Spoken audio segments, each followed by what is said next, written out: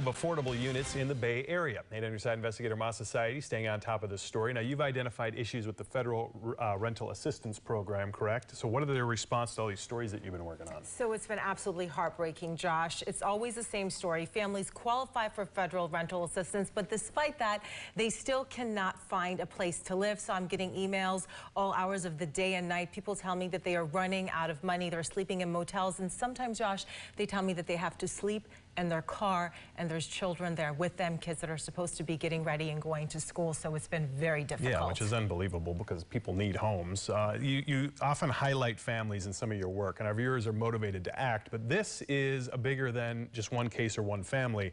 Tonight you're talking with someone who may be able to help. Is that right? Yeah, and I think she actually will be able to. She's been working in this field for 28 years. She's very knowledgeable, but more importantly, she's very transparent. She does not deny that there's a problem. She's the director at the Pinellas County Housing Authority Authority and listen to part of our conversation here.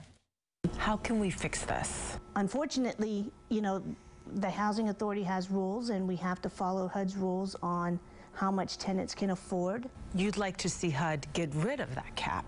Absolutely.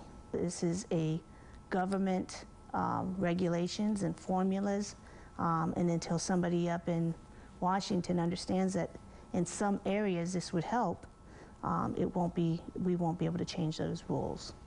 So this sounds like a lot of things, the federal red tape or the regulations. So what are they working on to try to fix that? It's coming up at 6. And we're pushing to get answers from HUD in charge of this coming up at 6. Plus, we're going to have some advice for families that are looking to find a place, what they can do in this situation. Life's stressful enough, let alone trying to find a place to live. Yeah. Yeah. Awful. All right. Thanks so much. Yeah.